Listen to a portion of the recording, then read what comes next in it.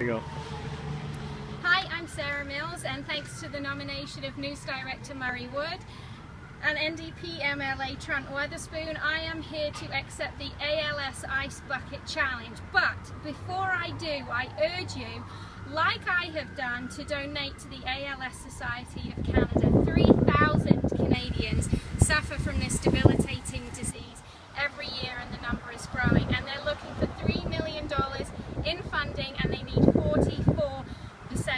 So I urge you, donate or better yet, volunteer sometime. So on the Sarah Mill Show every Friday, it is Cocktail Friday.